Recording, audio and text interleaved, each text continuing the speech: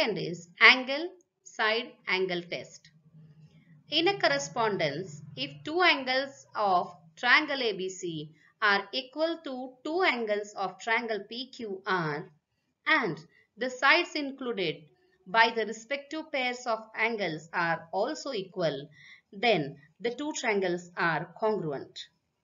This property is called as angle side angle test, which in short we write ASA test.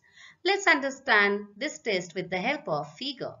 Here in figure, triangle ABC and triangle PQR are shown. Here angle B is congruent to angle Q. Angle C is congruent to angle R which are shown with the equal ticks. And the side between these two congruent angles that is side BC is congruent to side QR which is the included side between these two angles and therefore these two triangles are said to be congruent by ASA test.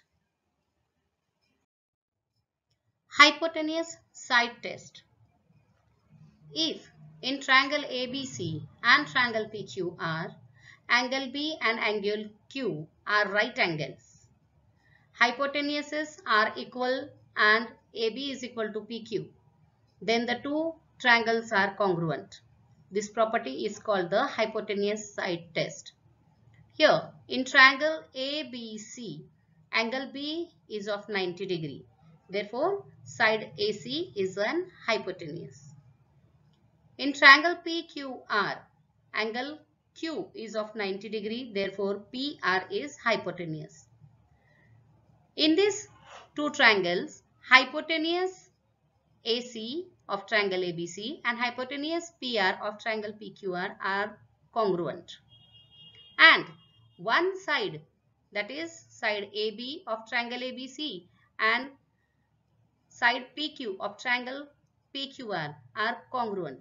That means hypotenuse and side of one triangle are congruent with the hypotenuse and one side of another triangle.